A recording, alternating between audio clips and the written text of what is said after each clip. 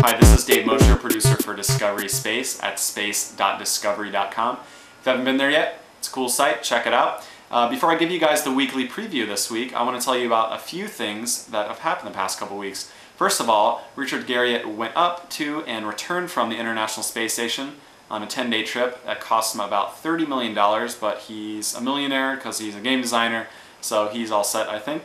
Also, the Armadillo Aerospace Corporation company, I can't remember the exact title, but they won $350,000 for the Northrop Grumman Lunar Lander Challenge.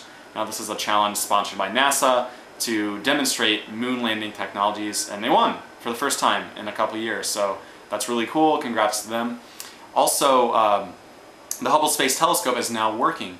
It was broken uh, a couple weeks ago actually because of a bad computer. We did a video on Discovery Space. If you're in the Space Disco blog, which is the blog I run for the site, I'll have a link down there for you to, to take a look at. Anyway, it's all fixed and it's working now and they can proceed with the servicing mission 4, which is the last one, to the Hubble Space Telescope. So that's a good news for NASA. Now for the weekly preview.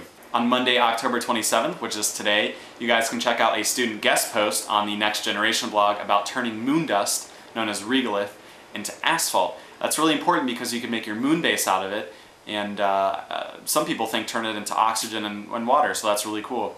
On Tuesday, I've got a slideshow for you on space art, all the cool animations and illustrations you see that we take for granted. On Wednesday, I have a interview, an IM interview, with the makers of Blast, which is a movie about a telescope strapped to a balloon sent to the edge of space. Uh, it's, it's really cool, and I happened to see a screening of it last week, so I wanted to interview the maker and one of the stars. And they're both brothers, actually, so it's a pretty cool interview, and definitely check that out on Wednesday.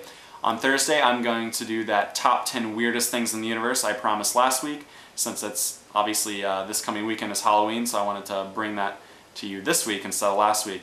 And finally, I've got a space photo quiz for you on Friday, among other things, so be sure and check space.discovery.com, and thanks for checking in.